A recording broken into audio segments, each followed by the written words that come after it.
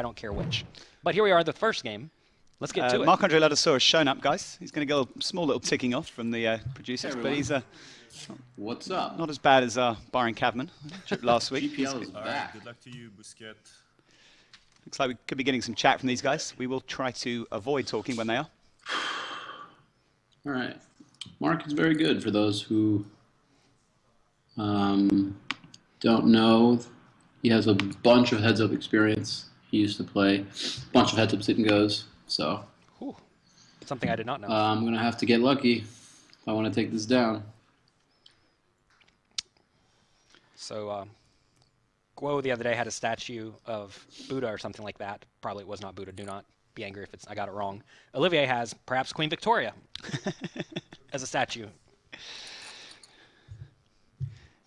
I mean, if I guess Queen Victoria for every statue we see on the GPL, I mean, could I be right once? Probably not. No, probably not.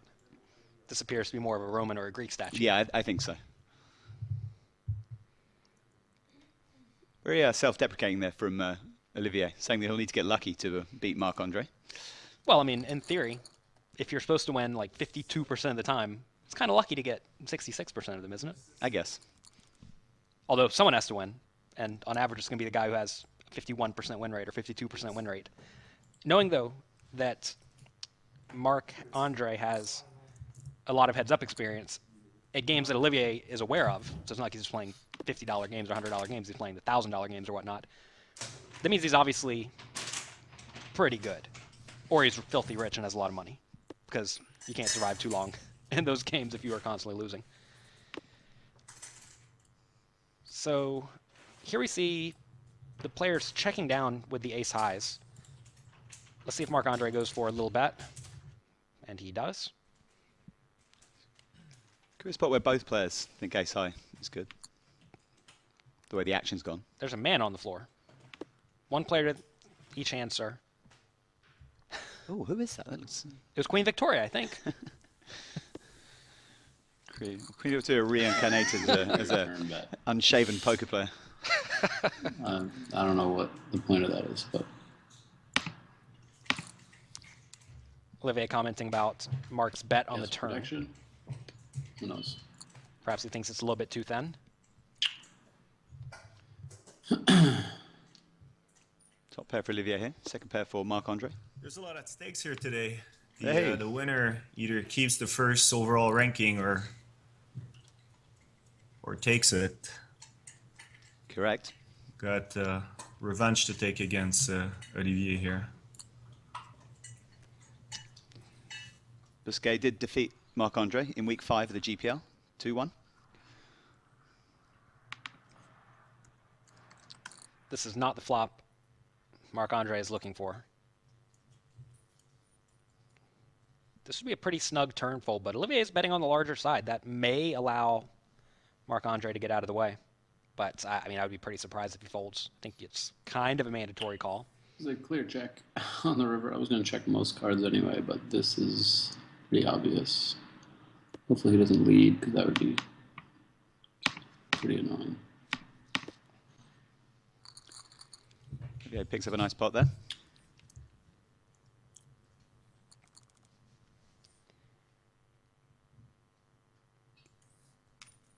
It's a tough spot for Marc Andre to lead there as a bluff.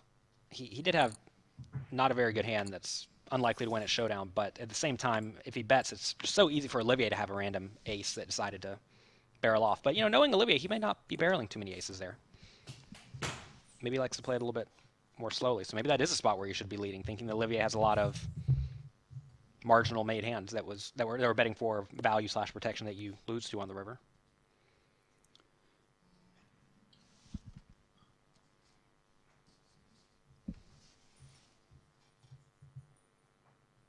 I wonder if this is a hand I can go for value with. I think it might be.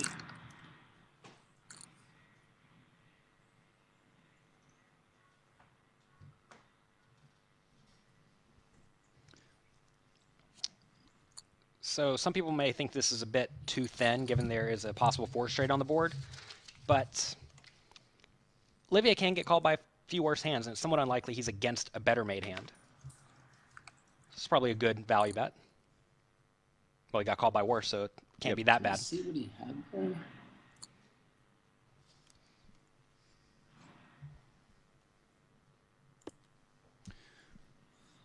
Follow the GPL on Twitter, Oh. guys. At GPL. Use the hashtag GPL to follow the conversation. Give us your thoughts. You can also download our app, GPL TV, available on iOS and Android. Can be used to access all the highlights of the GPL and the uh, upcoming fixtures, including the remaining five weeks of studio action and the playoffs in Las Vegas. You can also access the merchandise store, which went live a few days ago. Check out the merchandise of your favorite GPL franchise. Hoodies, caps, and t-shirts all available. There, Olivier went for a bluff on the river after getting to the river in a small pot. Pretty neat spot to go for a bluff, and got Mark off of a bad pair. So join the conversation in the Twitch chat, guys. We are on a 10-minute delay, but Jonathan and I will be monitoring the Twitch chat for the duration of the evening. Our mods will also be able to help you out. If you have any questions regarding the format, any suggestions, or any form of feedback, we're always welcome. So here Olivier's going for a bet with this middle pair. There are a lot of worse hands that can call, like ace high, some king highs, stuff like seven six. So very nice spot to go for value. You'll see sometimes the players are going for value with medium pair, and sometimes they're not, or middle pair. And it's important to realize that middle pair here is actually quite strong, whereas on other boards it is significantly weaker.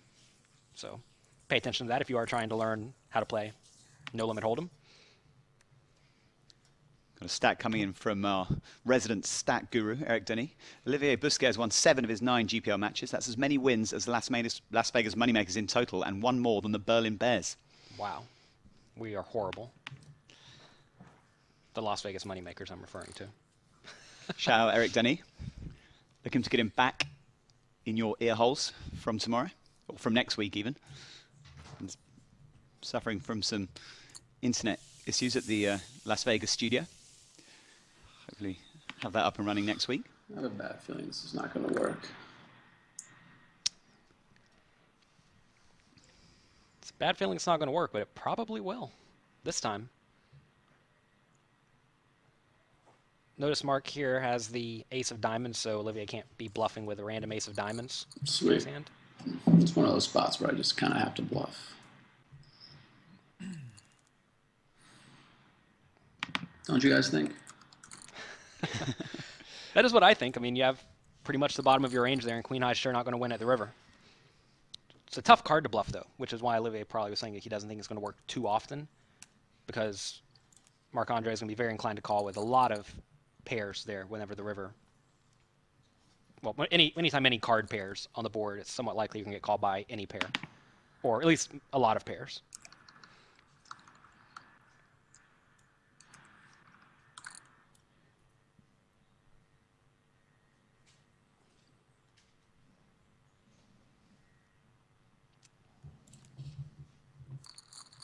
For a second, I thought Mark Andre was going to get crazy with the 8 3 offsuit. That would have been one of the first times we have seen anything crazy with the 8 3 offsuit, but nope.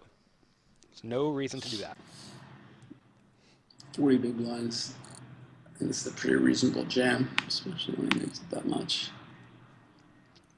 So this may appear to be a gigantic all in, but especially with hands like small pairs, Oh, we're shoving already here. um, th- these are hands that are reasonable to shove. Everybody knows We're pretty at much 40 big what blinds.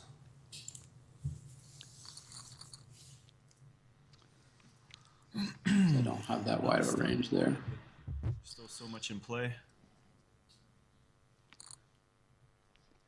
If Marc Andre min is there, so far. um, maybe Olivier does not jam.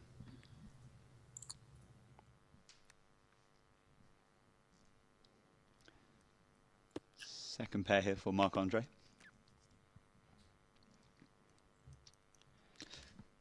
Interesting check back by Olivier there. He probably does not want to be betting too much on this exact board just because it's very easy for Marc Andre to have something. Either a gut shot or a pair. And he's not going to let any of that go. If he leads here, I'm just going to fold.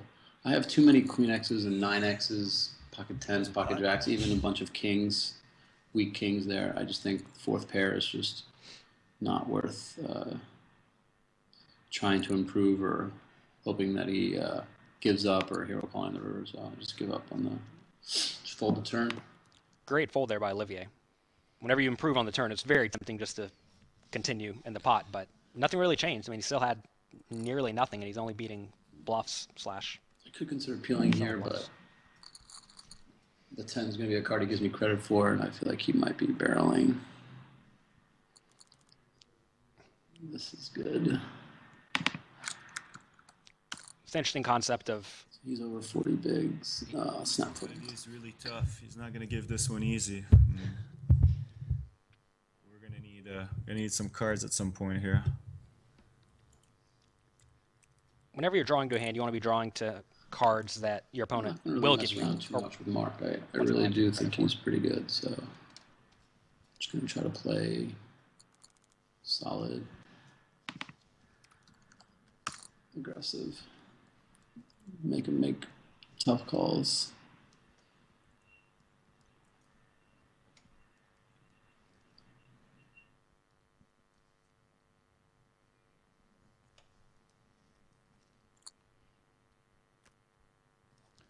Top pair here for Mark Andre Ladouceur.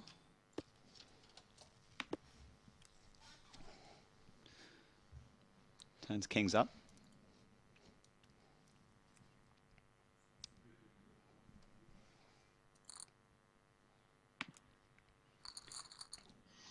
Notice Olivier has declined to not continuation bet quite a few times so far in this match, and that is what you have to do against good, aggressive, smart, tough opponents.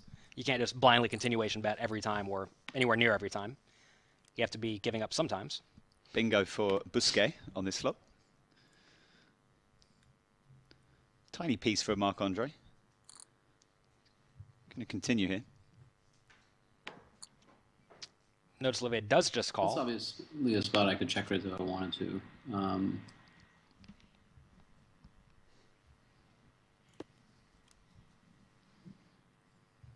that's interesting. So only the jack and the queen beat me, and mm, I don't know how likely those are.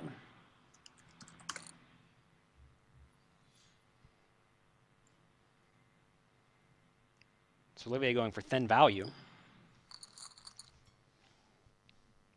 Since I have the eight and the nine, there aren't a ton of clubs that he can call with, but there's some. All right, so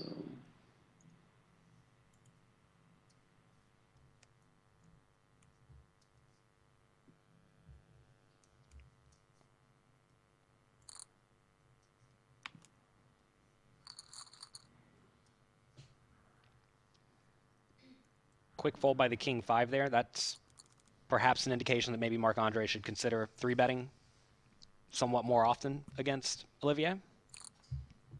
Assuming he's going to be folding out a lot, but of course, if he does start doing that, Olivier will adjust. We've seen a lot of players in the Global Poker League three betting stuff like 8 6 offsuit and 5 3 suited. And that's worked out very well for most of them because it seems like people are somewhat snug versus the three bet.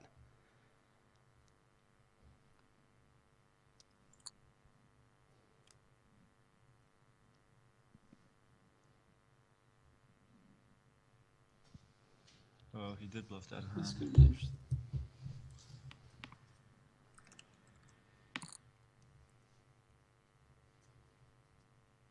Nice hand there. This is a tough spot for Mark on this flop because he has a hand that's often good, but he can't really uh, stick around versus much more aggression. And this is a card Olivier is certainly going to continue barreling on. You'll notice that most of the best players in this league are often barreling or bet, betting the flop with their garbage when they have backdoor draws, and they're giving up when they do not have backdoor draws. This is a spot where Olivier had a backdoor straight draw and flush draw on the flop, so he is betting and then betting again on the turn when he improves his equity. Putting Marc Andre in a pretty tough spot here. Yeah, and this is just what I was saying. Whenever you call this hand on the flop, it's. It, I'm not saying the flop call is bad by any means. I think you just have to make the call, but it's never a great spot if your opponent puts any more money in the pot.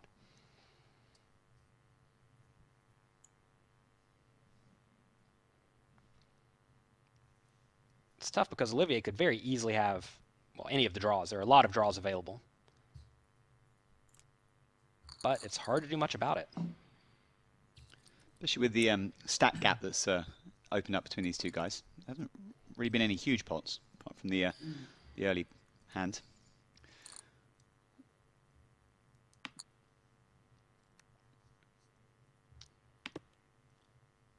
So some players may elect to check raise this flop in Olivier's shoes. I think he's probably going to call if Marc Andre bets.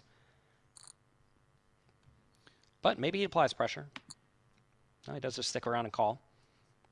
And this is something a lot of people are very uncomfortable with, just calling with 10 high out of position with a, a bad draw. But Olivier is going to be able to steal this on some rivers. He actually leads the Good turn. for him. Interesting. We just made a strategy segment on exactly this play.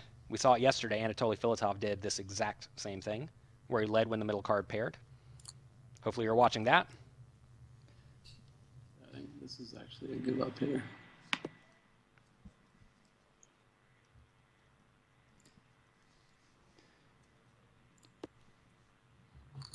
Nice call. I think a bluff would have worked there for Olivier elected to uh, pull the trigger. All the draws missed. That's the problem. Is all the draws miss there. When all the draws miss, I think you probably have to be somewhat inclined to give up. If some of the draws came in, well, notice there are a lot of the draws actually give Olivier a pair. But if some of the draws came in, I, I think Olivier would have been very inclined to go for it. But the queen is effectively a blank. It doesn't may not appear to be a blank, but it is effectively a blank. So I don't think you need to be going for it on that card too often. Hmm.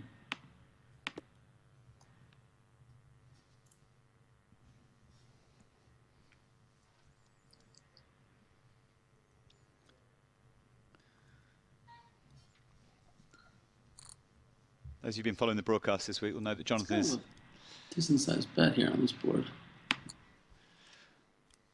oh flush for Busquet. I have a pretty good hand.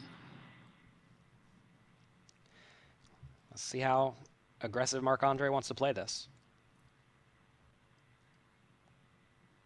If Marc Andre does bet, I I think Olivier is just going to call because if he raises, Marc Andre is going to fold out a lot of his bluffs, and I think you really want to keep your opponent in. Um, that could be a problem.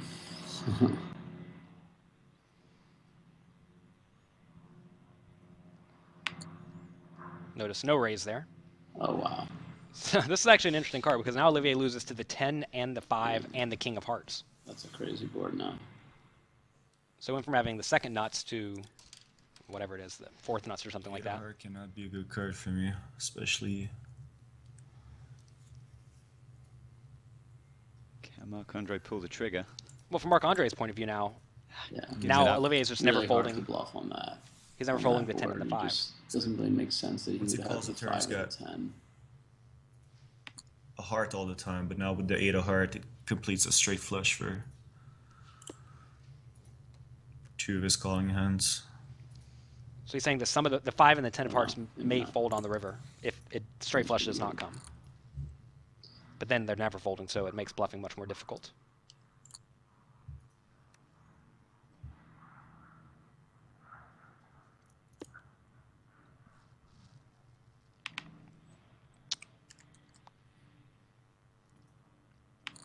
This could be trouble for Marc Andre, but it looks like he's not going to lose a huge pot here. Which is always fortunate for him. I mean, uh,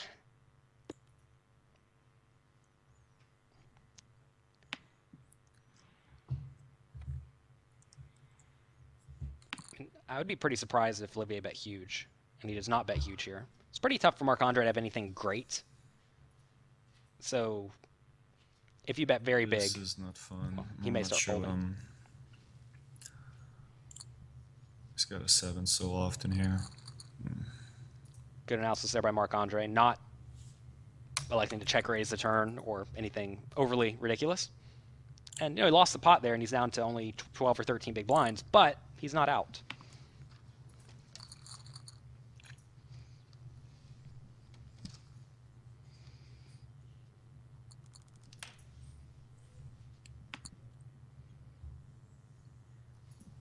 This is a trap call in with your jams.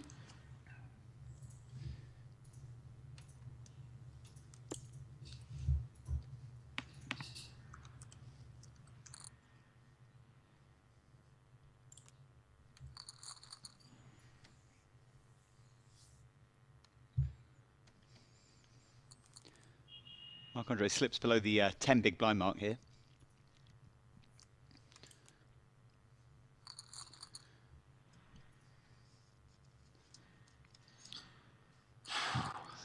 Little while ago he needs to find a hand. Hasn't quite gone his way in this match so 10 far. big blinds. Honestly, if you're going to be playing heads up, you should really just memorize the ranges at, at the minimum at 10 big blinds and below. What you're calling with, what you're going all in with. Um, and then start to add in some limps and build a strategy from there. But you should you should have an idea that you can jam this for 11 big blinds, you know? You have to study away from the table if you want to be great. You can't just show up and play. If you show up and play, maybe you'll win sometimes, but you're not going to do as well as if you study the game a ton away from the table. Yeah, we saw last night perhaps the importance of the um, push shove ranges in the uh, Wei Zhang against um, Timothy Don't like Adams. trapping with a hand game. like this. It just doesn't play well or that well in a limped 10 big blind pot. Because you're just not dominating that many of his hands. Follow the GPL on Twitter, guys, at GPL, and uh, use the hashtag GPL to uh, join the conversation. You may encounter a few tweets uh, pertaining to the Ghanaian Premier League, but don't be alarmed. Plenty of uh, GPL discussion there too. Any questions for myself or Jonathan Little? Tag us at Jonathan Little, at Lord underscore. Download the application, available at the uh, iOS and Android stores keep on up to date with the GPL on the go. This is a limp fold. Watch highlights. You can check all the standings for every player. this board. Check match histories for Pretty every hard game. have much, but he can. Notice there the limp bet by Olivier. That's a play you see a lot of the players making whenever they do elect to limp with well, their whole range. They're limp min betting very frequently, and it picks up the pot a large portion of the time. It's hard to defend that after, out of position with a marginal holding. Notice Marc Andre is getting effectively blinded off and put in a miserable spot. And now he just has to win a bunch of hands. But Olivier knows knows it's possible. He won a World Poker Tour one time with a 20 to 1 chip disadvantage. So here we're only at a tiny 7 or 6 to 1 disadvantage. So Marc Andre is well within it.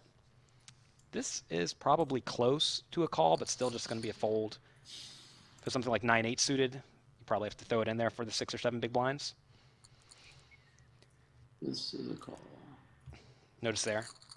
Just said 9, what did I say, 8, eight, nine, 7? Or 9 8. so 8-9 suited, I think 8 you 9 said. suited. Olivier saying the 10 9 suited is a call. So we're at least in the same ballpark. This is gonna do it, unfortunately. So Marc Andre knows what he's All in doing. He makes behind. the call. Not much there for uh, Marc Andre. Queen on the turn. Turns things around for the time being. That'll do it. Marc Andre gets the double up. The uh, It's a good turn card. there, Dharma on the alive.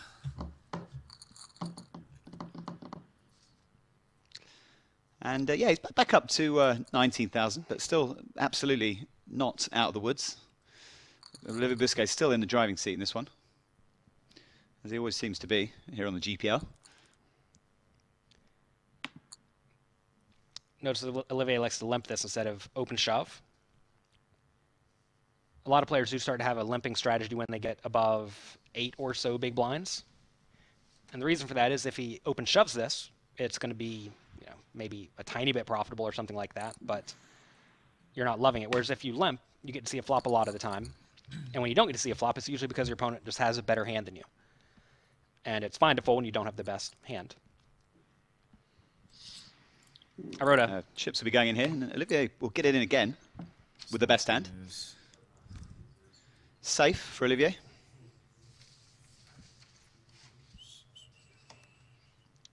Still safe. Just an ace for uh, Marc-Andre Ladouceur, or Olivier will be taking a 1-0 lead in this first Good game. America's Six Max. Nice, uh, nice match.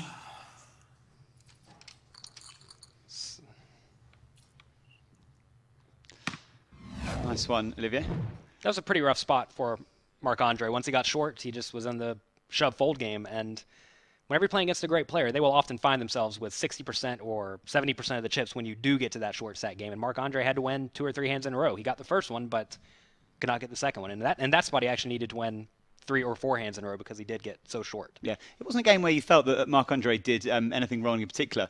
Uh, we just saw Olivier um, kind of grinding away, uh, sort of you know making stabs at, various pots. He, he, mentioned that he would need to get a hand or two to uh, win the game, and he never really picked anything up. Um, in the end, he just got it in a couple of times, um, you know, just with a slightly um, inferior hand. Um, I mean, we, we just mentioned the fact that we're going to see uh, on the next break in between the six matches a, a kind of strategy segment with uh, you.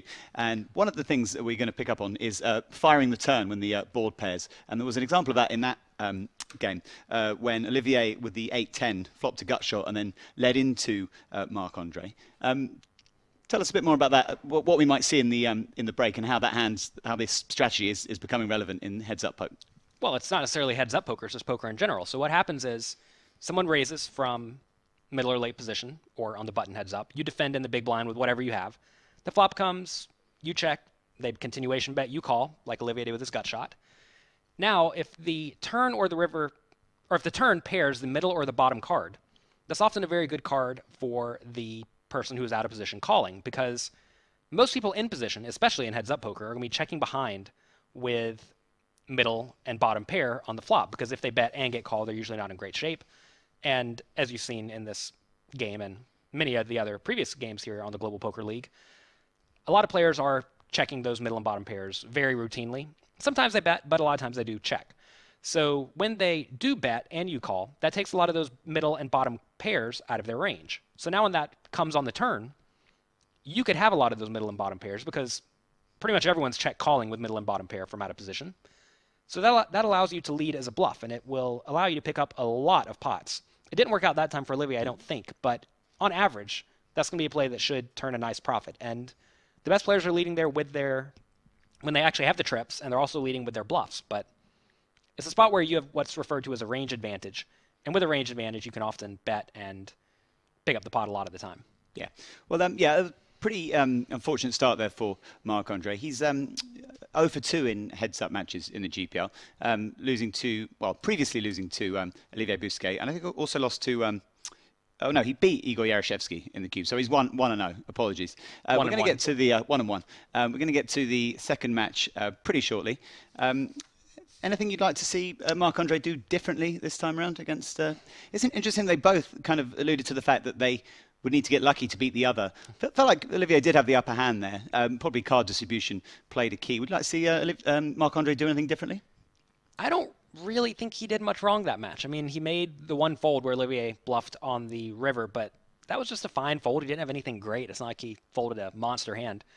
Um, it's just hard to play against Olivier, is what it amounts to. He doesn't lose big pots very often. He'll lose small and medium pots, but if you watch a lot of his games, he's not running a ton of huge bluffs, and he's doing a lot of, I guess, what people would call pot control, but it's not actually pot control. It's just good standard poker, and it's hard to play whenever someone does that. It's well, these guys, these guys are in a pretty um, nice position. The uh, the uh, pressure is off for these guys. They sit one and two in the conference, so these guys, you know, as you can imagine, look pretty relaxed here. I don't think either of them are going to be um, sweating this one too hard. But obviously, there's a lot of uh, bragging rights here in the GPL, and Olivier is trying to, um, you know, get that sweep that will um, take him to the top of the point scorers table uh, ahead of uh, Fedor Holz and Anatoly Filatov. And the guys are ready for the second of these three matches tonight. Off to the arena we go. I would venture to say that Olivier is actually Olivier is actually right, playing for back. a lot because he wants to be the number one guy. Yeah. This is his format. So I he wants to be clearly ran better than Mark in that first game, which continues my GPL um, experience. It's pretty nice. Not to mention I have aces now. Talks about running good and like, oh, I have aces. Well, but let's put a queen on the flop and let's end this game.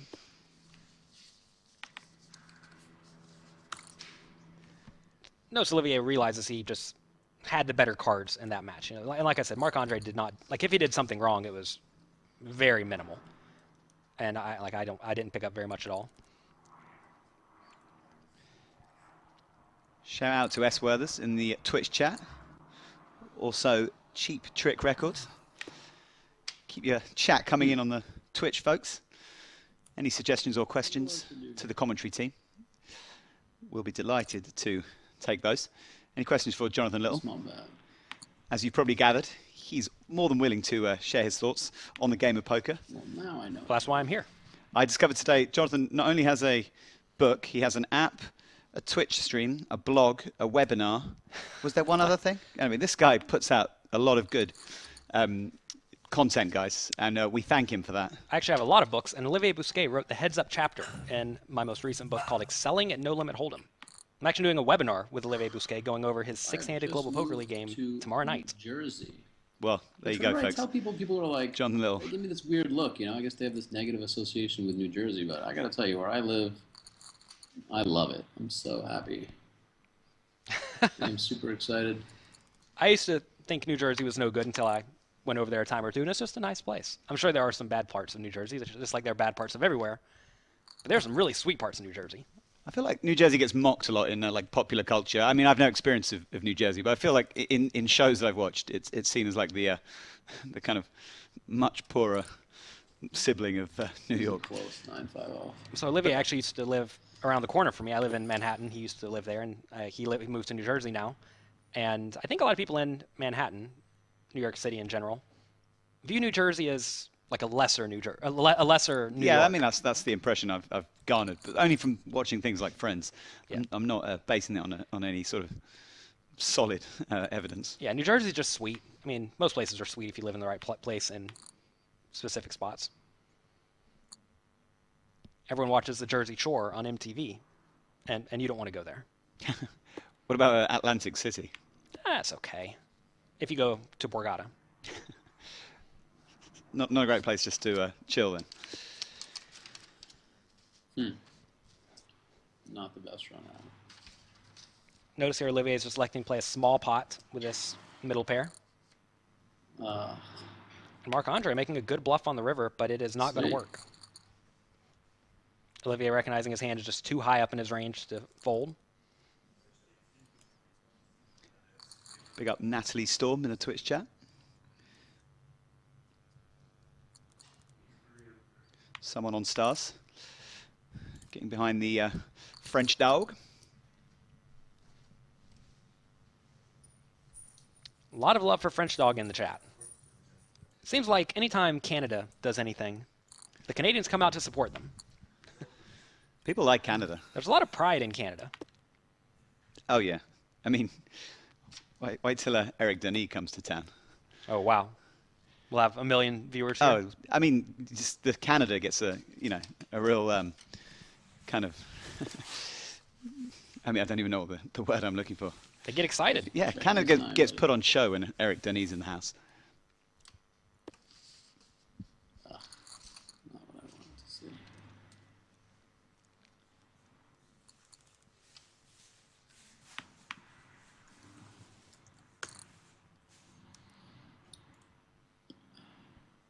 This is 7 6 offsuit as a hand Marc Andre could conceivably 3 bet if he was trying to get a little bit out of You guys line. appreciate how fast we're playing because we are playing fast, both of us. This is a big three bet. There he does the 3 bet as I suggest. Interesting. And this could spell disaster already. I wonder. Well, I mean, Olivier's going to have a hard time folding this unless it runs out really bad with, you know, an additional two clubs or an ace or a king or a queen. He's sure not going to fold now. man. Man, am I running? How does good. Marc Andre feel about this card? Oh, well, you can't like it, but I, I think this is a reasonable hand. Well, so let's think about this. Should he check the turn and then bet the river? The problem is he doesn't want to check fold this. This hand has a decent amount of equity. So I don't know what the right play is. I mean, he has seven high, so I don't think betting can ever be that bad. Olivier is probably thinking that Marc should check a lot of I big so pairs. not expecting him to bet again. right. It's hard to have a value hand betting I again. guess he has some sort of draw. It's gonna be my guess, but like, do I just give him a free card at the draw? Do I raise here? This is tricky. Yeah, you don't expect to get bet into very know. often. Wow. I mean, Bingo he doesn't have six seven. Raise deuce. Should be good river for us, right? That would not be good. What an amazing hand. Hopefully he just has like 9 10 suited or 8 10 suited. I mean, I don't know. I really wasn't expecting him to bet there. But, I mean, I can't fold here.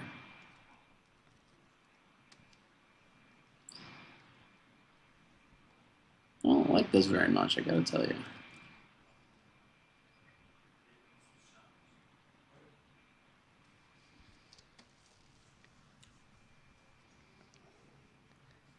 Tanking a little bit as if we had a decision.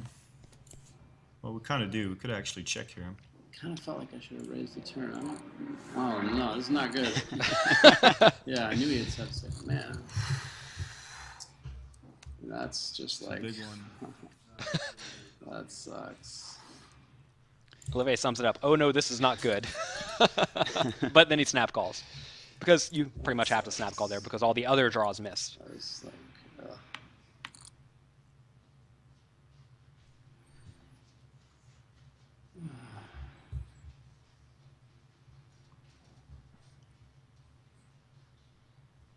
The thing is, I'm pretty sure he was gonna give up if he didn't hit. That's what's like especially annoying about that. It's like, I just I don't think that turn bet is good. Um, whatever, it doesn't matter. Olivier's all in here. Picks up a seven. Up and down for Marc Andre. Jack six, eight, nine. Let's take it down. Pull back two, one. Bricks off.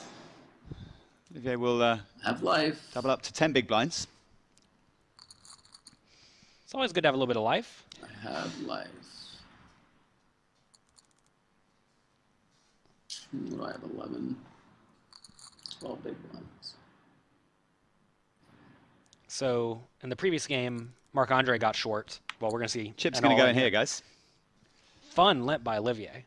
He's doing this to hopefully get Marc Andre to shove. Snap. Marc Andre will need a king here to end this uh, heads-up match, Okay. or a jack. I mean a ten.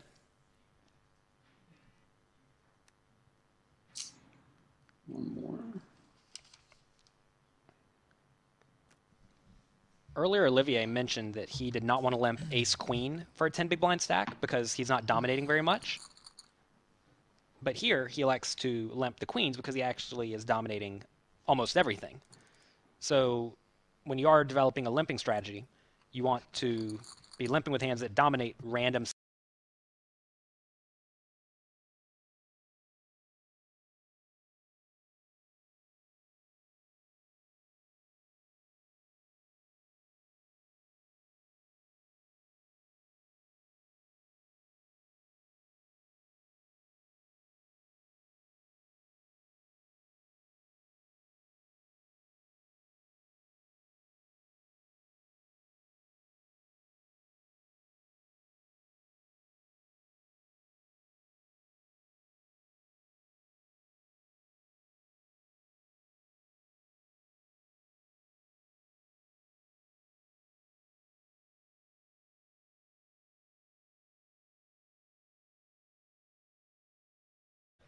Lost Olivier there for a sec.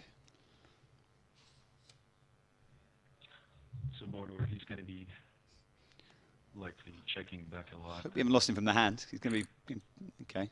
Check raise here. Oh no, raise. We're going to go in. Can't afford to double him up again, but this is our uh, this is our shot. Wow.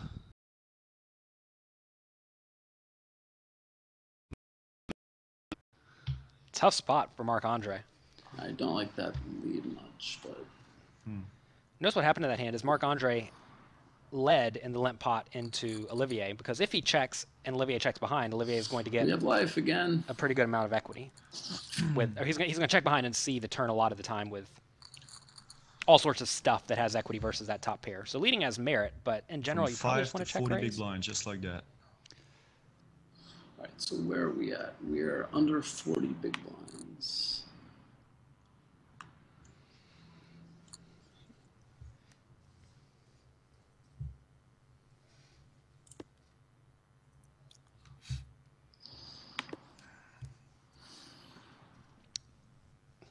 Notice Olivier not betting here with just a bad backdoor straight draw.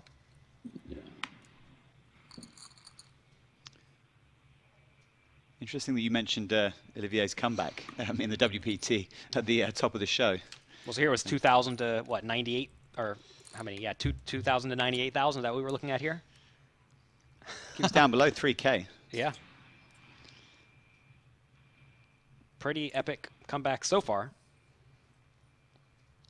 This is not going to be the hand to do it on. And notice Olivier just not playing a big pot again with this marginal made hand.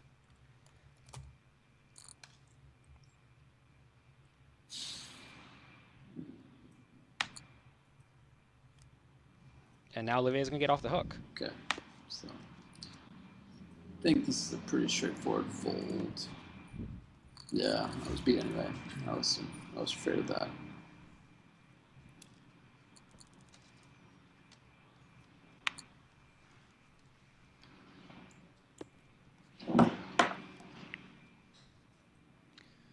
Middle pair here for Olivier.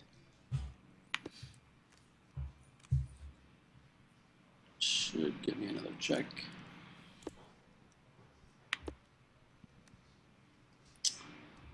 Uh, I don't like that card. Alright, check.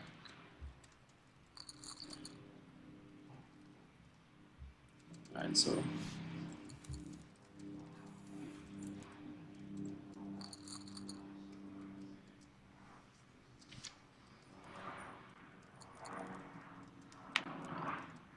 blinds are up again. 25 bigs.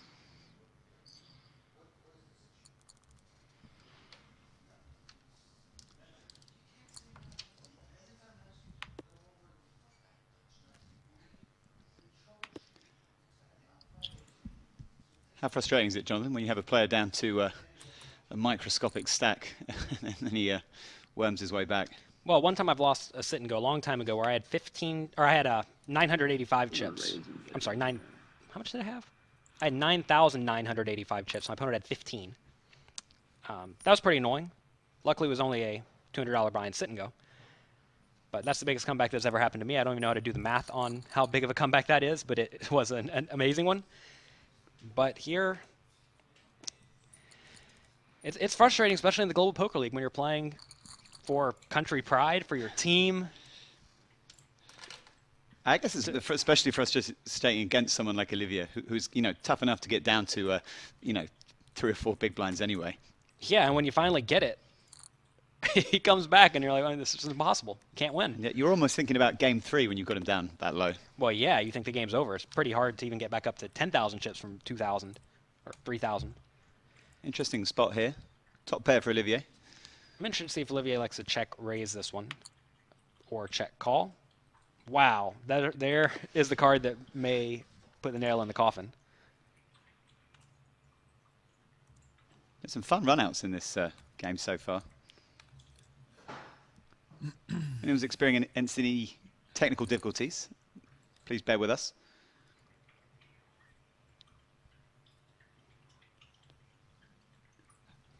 Some issues have been occurring with the uh, Twitch servers this week. Sometimes the internet just does not work. Despite your best efforts, wow, is Olivier going to find a way to fold this on the river? This is a bad run out for him. I mean, I would be shocked if he folded. But I've seen Olivier make some pretty sweet folds. I don't know how to make sweet folds, but he calls off. Okay, you can let it. I would not have folded there. Oh, there's one. Got lucky there. Notice in that game, Marc Andre Game three. effectively set up Olivier twice with some pretty nasty spots where he made straights two times versus Olivier's trips and two pair. When that happens, you're just going to lose, but it took him twice, right? Yeah. Normally, you don't get that to happen too often, but here it is. We have it, and Olivier's down. We're, we're tied up 1 1. So Olivier will not become the winningest player in the Global Poker League this week. May have to wait until next week, but he'll still be right there at the top of the leaderboard. And you know, this is like what, like I said, it's fine for both teams. Just get three points. So now the week is not a disaster, or at least the heads-up portion is not a disaster for either team. Yeah, I, th- I think Marc Andre. I mean, he, he, you could see him frustrated at the um, kind of card distribution he was getting in that first game.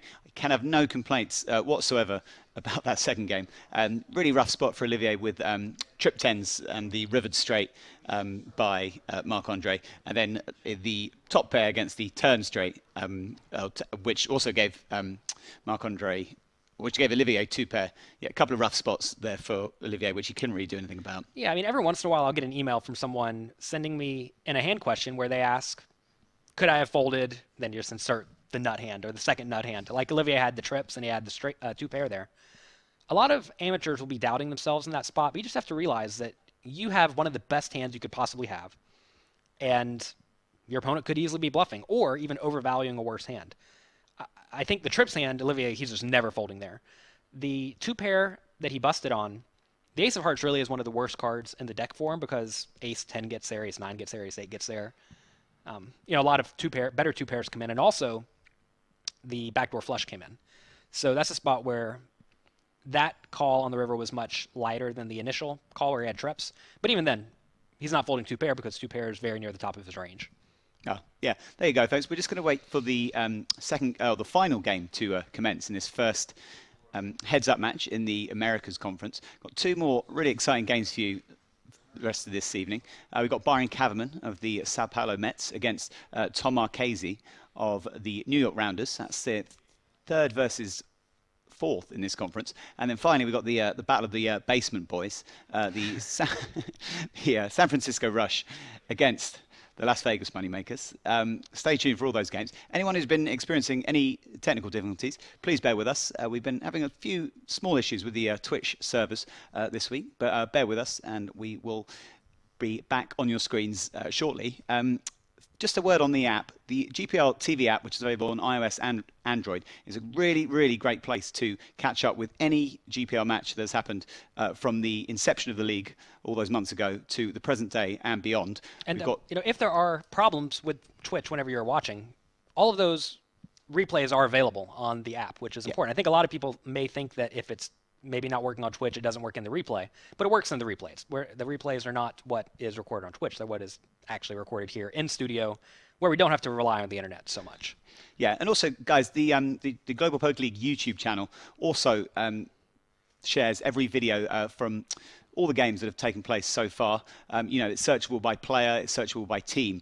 So any game you haven't caught up on, uh, feel free to either go to the YouTube channel or download the app. Also, uh, like our Facebook page, uh, Global Poker League, and you'll also see shared there all the matches that have taken place. Um, you've also got on there the strategy segments that we've been filming with our guest pro uh, this week, uh, Mr. Jonathan Little of the Las Vegas Moneymakers. Um, we are going to go to the second game. Where Third game, game three. Third game, sorry, the, the third of three. I am off form with these, uh, Well, these. It's hard to remember poker hands; they go, they fly No, by quickly. yeah. These players are playing The thir- fast. third game, guys. Third game. The fact that they're playing so fast makes it hard to remember all these hands. They're flying by so quick. So let's let's go Get to, to the action. Maybe. No. We'll wait a few seconds. There we go. Kobiskit. Mm.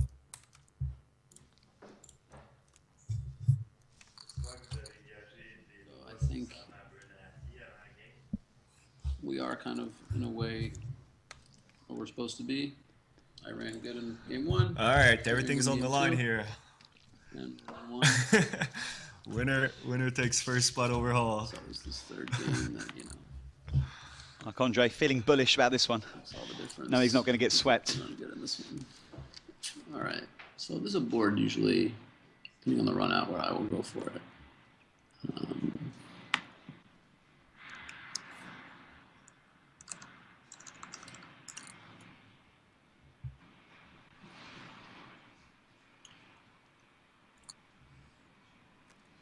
yeah, definitely now. Mars. Peanut gallery. You know, So again, Olivier is betting here with mm. the backdoor equity. Remember, we talked about backdoor equity. This is a card that gives him a lot more outs. So this is a hand he's choosing to barrel with. If he had something like 5-4 offsuit on the flop, maybe he does not. that put is any money in the not pot at the card that I was looking for, but I Still think you got to bet out. Somebody's interested in the bet size here. Olivier likes to do this somewhat default two thirds bet size or three fourths bet size on the river. There are a number of draws that missed, but you know you just got to go for it, Right. when your hand is it's bad. Right there, I'm tempted to bet small with my range, and maybe that's just a mistake. And I would be betting small with my whole range So because good. That we're trying. been a bad early hand. He's trying to get Instead, hands. It's a pretty good one. we And you know, in the dynamic, when you're playing, you know, these types of games, um, being able to get away with a couple bluffs early is like always really good because it increases your opponent the way they perceive your overall aggression level. So now, if you do make some decent hands, you're a little bit more likely to get paid off. It's not, you know, some people kind of overestimate these dynamics and they're like, okay, now I'll, I'll just get paid off if I have anything. That, that that's not true, but the probabilities are slightly more in your favor, I think, especially against somebody very good. They're not going to kind of go overboard. Um, but those dynamics do exist even among pros.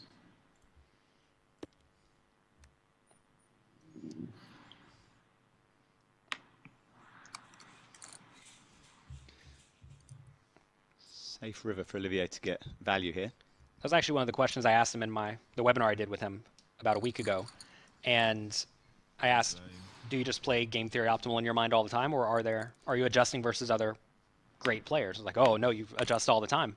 Like everyone gets on tilt." I mean, he says Olivier said that he gets on tilt, and he says that no, like, no one is a robot.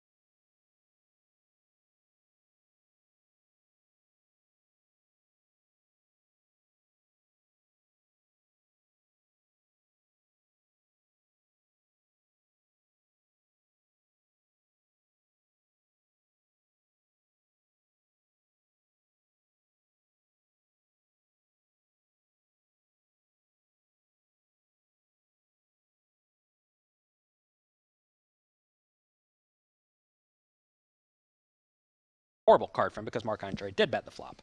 So you always want to ask yourself, what is my opponent's strategy, and what is their betting range, etc. And that's a spot where if you think he's not betting very many ace highs on the flop, then this ace high is obviously not good for his range at all, and Marc Andre should realize that. Don't forget to uh, follow the GPL on Twitter, folks. That's at GPL, and use the hashtag GPL to uh, join in the conversation with uh, myself and Jonathan Little and all our team here at the GPL. Looks like we have the game paused for a second to hopefully fix some of these technical technical issues.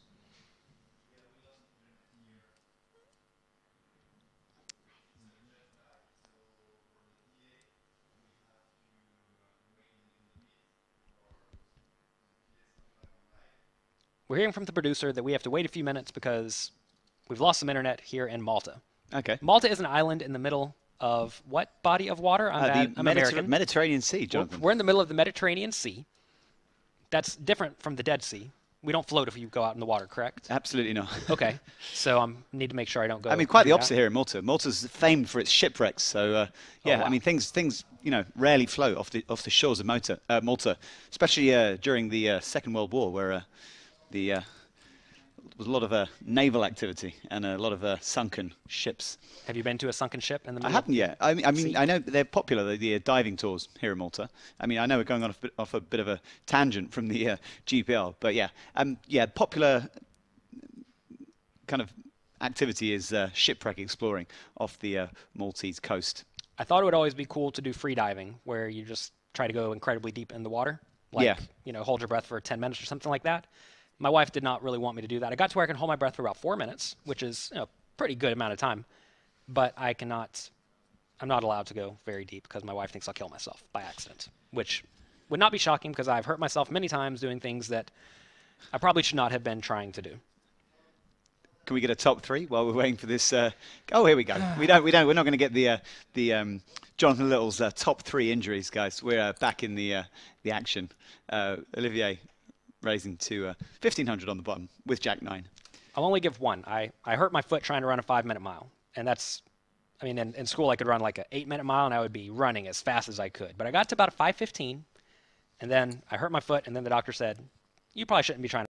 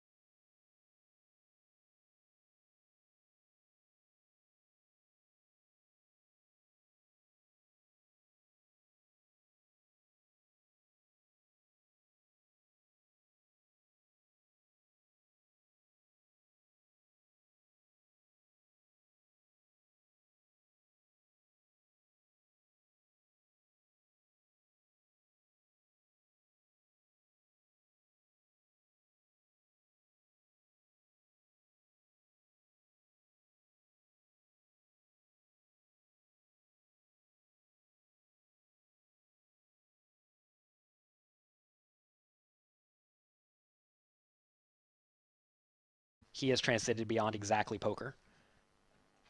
What's happening here? Olivier min raised. Marc Andre decides to three bet this hand. Wow. This is a hand a lot of people typically call with. I'm going to give Olivier rank number 78. That's an exceptionally good guess uh, from Jonathan Little. Uh, the correct answer is 80. Wow. That is that is didn't cheat on. even. I I- would have been sure I would have been I would have been impressed if you if you got to within 20 either side. To be honest. Well, I, I, I know he's more popular than I am, so he must be above that. And he hasn't, he's not like Daniel Negreanu, so he's not number Yeah. one. And we actually went through the top 10, and he wasn't in the top 10. Not like Samantha Abernathy or someone like that, who's way up there. Um, so, Marc Andre, wow. I'm going to give him a lower ranking. We have the guys back on webcam, folks. Let's, let's do I 487. guess is just going to be a give up. Not Yeah, a great another river another pretty good guess. I mean, you're not within two. Damn. Queen eight. Definitely. 363 for uh, Marc 363. Andre. Okay. I, I did not think you would have such a high ranking, mainly because he doesn't play a whole lot of live poker. He's more of an online player. But, you know, clearly I'm wrong. 300 something's very good. I think it should be more popular. If people saw him and talked to him and hung out with him, they would know that he is the man. I hung with him, hung out with him last time I was in Malta here a little bit, after the, or was it in? Flor- It was in Calif. It was after the draft. Actually, it was after Okay, the Global yeah. Poker League draft in California, and he was nothing but a treat to hang out with. Both these guys were in Malta for the um, GPL World Cup. Uh, Olivier was representing Team USA, and Marc Andre was uh, representing Canada. I why I just have this. Just gonna feel like giving up right now. I don't know why. Olivier saying he feels like giving up. And Olivier's instincts Not are uh, spot on as ever. I mean, that's just sick. Whenever the guy may bluff with his Um, draws, but just doesn't. know, Let's hear why. Let's hear why. sometimes you get a feeling about something and you're totally wrong. Sometimes you're right and you're just lucky. I don't know. Just had a feeling there and decided to trust it instead of what would normally be a, a bet for me. So you know this. Well, It's a good Olivier- spot for Olivier as the nuts again. he will not complain about how he has ran in the Global Poker League. Olivier turns the coconuts here. Wow, and Marc Andre is going for it. So now does Olivier raise or just my call? issue here is just that I actually I, don't know how likely Marc is to like fire off third barrel in the last game. My, my sense is that he's he's a little bit unbalanced um, and won't fire off as much. But maybe he has something. Maybe he will. I mean, I don't. I don't know. I'm just afraid to lose value by just checking by just check calling the turn. But maybe I'm wrong. My hand is so good, obviously, that I don't. doesn't matter. I think I'm happy. I don't lose any value by being afraid of any river cards. And he does bet. Sorry, that's really loud. Um, Olivier Busquets in a hangar Right. at JFK. balcony door is open. That's why. Hopefully, this will just be the game. You know. Poor Marc, Andre, Marc Andre. Nothing he's doing is working. Yeah. Oh well. Have you, have you been round to Olivier Busquets' apartment? Is he, I don't. I, does, does he live under the, the flight path of, of uh, one of the uh, airports out there? In, uh, Fucking 10 big blinds. clearly must. I mean, I live on the 14th floor of an apartment that's not even on a busy street, and it's always loud with sirens going by and cars going by. that, was the, that was the noise of a That was noticed an airplane. Though. yeah of you know a four engine four engine commercial plane. Probably like below 1500 feet. You know your airplanes. Well, I mean, I used to work in an Yeah. airport. oh well. Would you believe that? Yeah, I'm quite quite partial to a to a you know an article or two on the uh, right. on the uh, aerospace industry.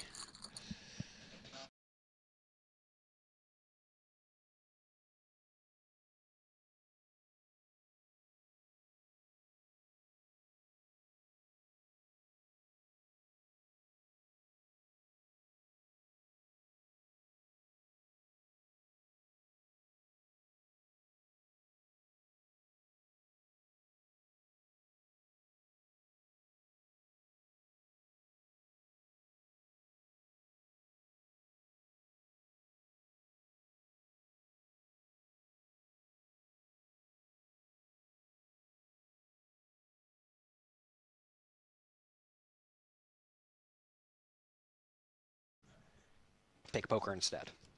How much equity did you lose in uh, like flight arrivals? Oh, a few thousand before I quit. We may see the all-in and call on this hand. Okay. And Marc Andre in the same spot he was on game one, where he's going to have to win a few of these short stacked all ins to get back in it. Nine for the sweat. Just a jack or a ten. Marc Andre will double up. Twenty big blinds. It's fun though. I'm, I'm kind of I always root for the short stack when I have two world class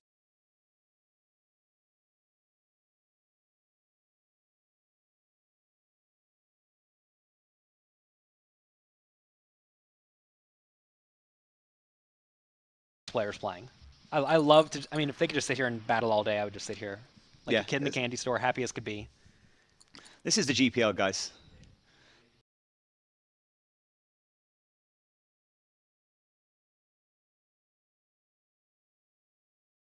This is one of the first overbets of the match, if not the first. I think it's just because we haven't had very many spots that have occurred like this. Certainly putting Marc Andre in a miserable spot. This is a scenario where Olivier should have a lot of bluffs. So he wants to make sure he's value betting big with the value hands and you know, bluffing big with some of the bluffs. Not necessarily all of them, but some of them. And Marc Andre does make the fold.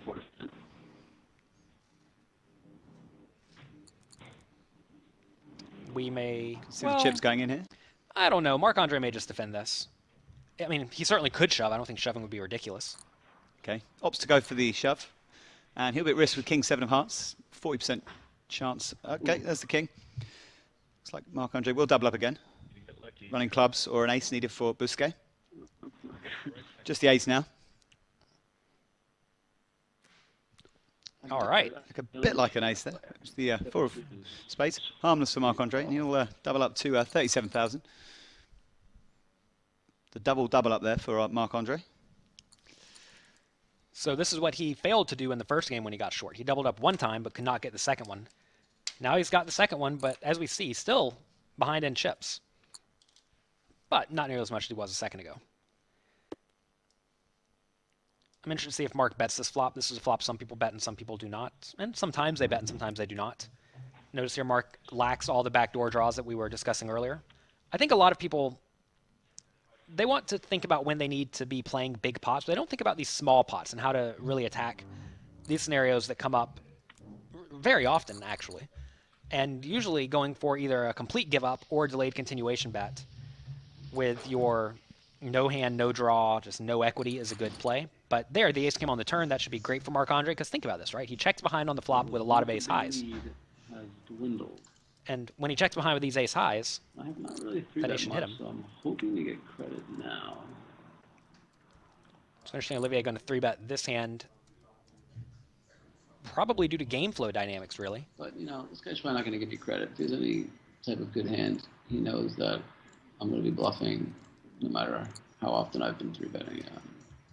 Now, Well, buckle up. um, It's going to work most likely. I like seeing Olivier perk up over there because you know he's typing in a bet size. all right, that's a good result. I like watching him bet. I enjoy that. And a good flop. Let's be real.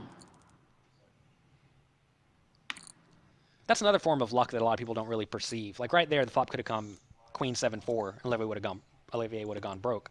Instead, it comes five four three, and his opponent had not an ace, and he wins the pot.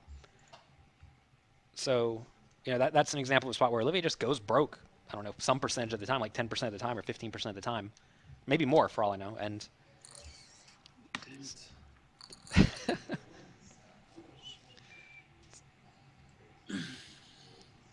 there, Olivier lets go of a pretty good hand.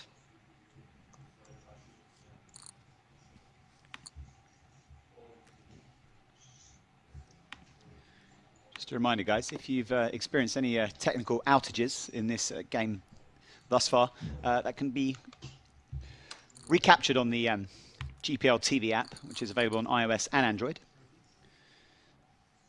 All highlights in there from every game played so far in the GPL. There's been a lot of games.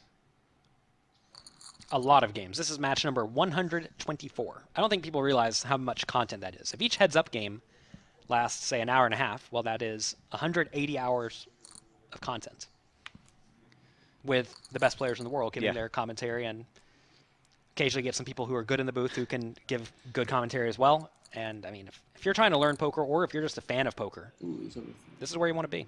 Chips probably be going in here. They will be, and Olivier is going to be. This guy, man, I think this is Well- a jam to his three bet. I just, it's unfortunate because he's gonna have like every hand that beats mine, but I just think he's bluffing a lot. Playing for it all. Olivier will need to get lucky here. And that's Go. Even here, notice if Olivier loses, he still has 18,000 chips. So it's not like he's No dead. nine. Safe for Marc Andre. Give us a jack. Give us a five. Jack few chops nine. possible. Six or a f- uh, five or a jack. There it is. Deuce.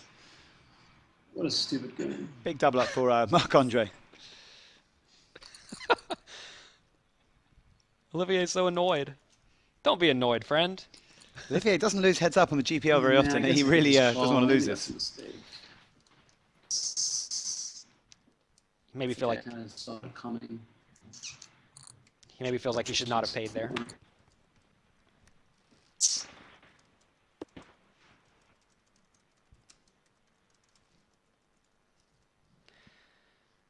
I don't think anyone can fault him for shoving with the ace nine there. I think it's a pretty standard default play. Maybe Olivier thinks he could have gotten away from it, but Marc Andre is certainly capable of three betting many, many junky hands.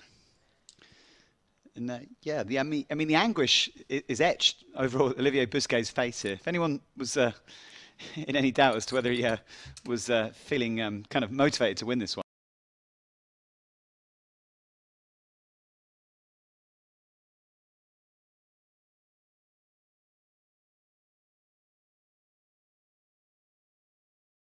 To win. We're trying our absolute best. All right, here we go. Marc Andre may limp this. If he limps this, he's going to get off the hook, but he does go for the shove. Well, good. I mean, I think that's just a sort of, well, it is a standard-ish default shove. a few possibilities for Marc Andre here to uh, get lucky. Jack four will be needed on the river here. Double up for Olivier, back to uh, just shy of 30k. This game going one way and the other. Eight and um, sixteen. Wow. Okay. So Olivier back to about 18 big blinds. Still nowhere near out of the woods, but So obviously, when the blinds get big, these games can just swing back and forth, and it feels silly because it doesn't take much to get all in.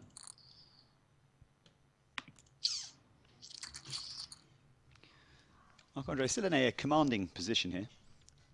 Notice Marc Andre elected not to go all in with the ace 10. He elected to use a small raise. That will allow him to have some bluffs in his range. When, uh, when your Which is good. is, is tough like Marc, it's like the edges are so small.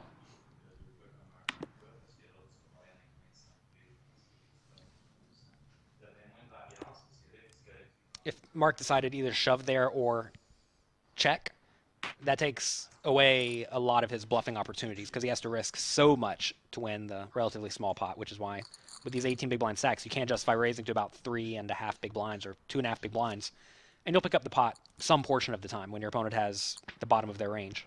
And even then, Olivier had queen three, which is not the bottom of his range at all.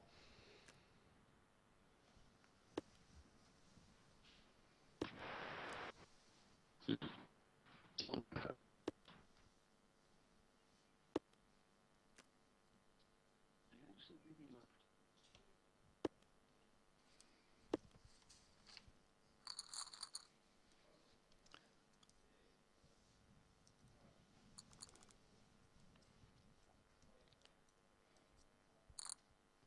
Marc Andre seems to like a raising strategy with the vast majority of his hands with his stack depth, which is, I think, a fine strategy. But if you do it too often, it'll open the door for your opponent to shove on you a bunch, and then you're going to blind off.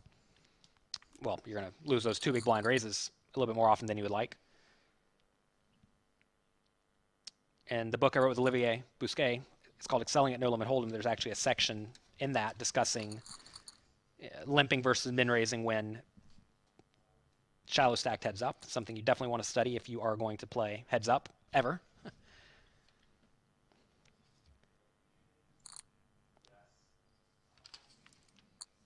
Notice Olivier not shoving this king two, electing to just call and see a flop.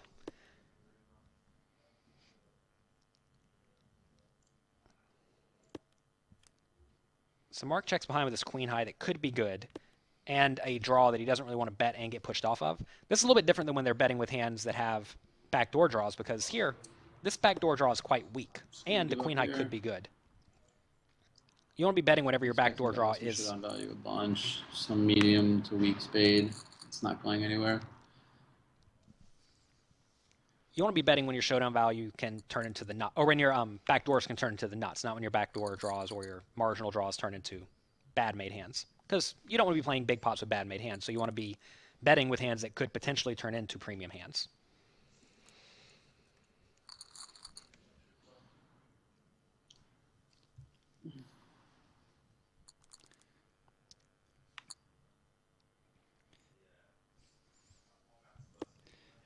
Interesting, you mentioned your book, Jonathan. I just want to ask you about the sort of the whole um, concept of poker books and how that's evolved over the years. I remember when I got into poker, got many years ago, sort of first showed an interest.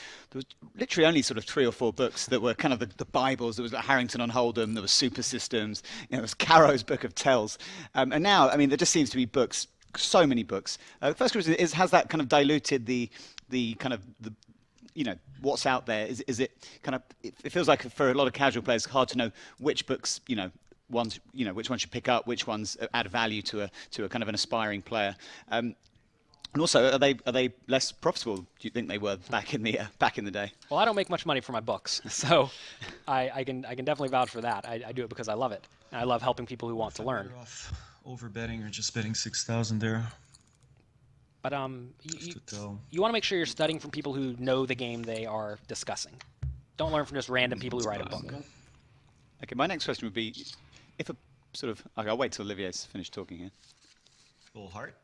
or Marc Andre. One Well, more. Can Olivier hold the best hand again? Ah, why don't we chop it up? Gosh. He's not hoping to chop that pot. Okay, next question. Oh yeah. So if an aspiring poker player was to sort of shop around for a book and was to see, you know, this, the array of titles that there are nowadays, how would a player know um, which of those books are, are sort of authored by, um, you know, the best players for what they want to do? Do you think? Do you think you should check someone's Hendon Mob, or do you think they should check Yeah. their online earnings, or Both. Yep. I mean, definitely check their Hendon Mob, check their earnings. Here we have an all in, though. Olivier is going to be out. Unless they put a six on the turn. Good Well, game, that's not a six. Well played. A win. See you later, guys. Good game, both players. Well Good played. line, Stay on top. Still on top. Some good cards. Well, there you go, folks. The unstoppable Olivier Busquet has been stopped in his tracks by uh, French Dog, the team manager of um, the Montreal Nationals. Um, he's defeated uh, Olivier Busquet um, 2 1, and uh, Olivier didn't look particularly thrilled there. Well, no, he doesn't like to lose. He likes winning in heads up games in particular. And I mean, really, I was just happy to watch that game. It was a lot of fun to hear both the players sharing their knowledge, and I thought it was a great match. And you know, they both come out with a few points, so neither team is too incredibly disappointed about that because they're both going to stay at the top of the division without much risk of getting dethroned. So, um, really, just a fine result for both teams. Yeah, I said at the, the top of the show that these guys might be feeling pretty relaxed about this one. Um, but as um, Olivier went short on chips um, after losing a big pot in that final game, his face did sort of turn to thunder. So uh, I think I'd probably stand corrected there to suggest that they were both kind of slightly um, ambivalent, you know, regarding the um, outcome of that game. So yeah, Olivier clearly doesn't like to lose. Probably why he's kind of, you know, such a, a master at his craft. Um, that was, that's all for that game, guys. Uh, the Montreal Nationals will um, cement their league at the top of the uh, Americas Conference. Um, probably going to look forward to the next two games we have now. Some really kind of in- interesting games coming up. Um, first, first up, well, after the break, we've got the um, New York Rounders against the Sao Paulo Metropolitans, and finally we've got um, Jonathan Jaffe uh, for the San Francisco Rush against um, the Las Vegas Moneymakers and um, Jake Cody, Jonathan's team. Um, but for now, we're going to uh, leave you from the desk and head over to Laura Cornelius in the lounge. Off we go to Laura. So much, Roland and Jonathan Little there commentating on that first heads up game from the Americas Conference this evening. Congratulations to the Montreal Nationals and Marc Andre Ladouceur, who indeed takes six points and makes sure they stay firmly at the top of the American standings. Hopefully, we have Marc Andre on the line to have a quick chat with him. Congrats, Marc Andre. You played um, Olivier before, it didn't go your way. This time it's gone your way. You must be feeling good about that. Yeah, hey Laura. Um, yeah, Olivier is one of the toughest opponents we can uh, we can face in the league. So um, there was a lot at stake, and really happy we're able to to maintain our number one spot. If you can think back to when you played him before, it was quite a few months ago.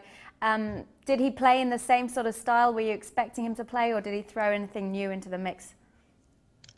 Um, I assume he played in a similar way. To be honest, I haven't seen all the uh, um, all the replays yet, but um, I uh, was pretty fortunate. Second and third match, uh, some good runouts for me, and in, in particularly in that big three bet pot. And then uh, couple all-ins went my way, and just uh, just happy we got uh, this one out of the way and uh, put six points on the board. You would have been feeling pretty bad if he'd have taken the clean sweep because it would have meant that LA Sunset would have gone to first place in the standings. They would have overtaken you. But now you are still firmly at the top of the standings right now. So that must be a good achievement for you as well. Yeah, that would have been awful to, to be the one that gets uh, passed in points there. But uh, got a, another four weeks to look forward to. Going to try to, to maintain that number one spot. All right. Well, thanks so much for chatting with us and congratulations again on those six points for the Montreal Nationals staying at the top of the American standings. Have a night. Have a good night. All right. Or a good day even. Thank you, Laura. Thanks. Marc Andre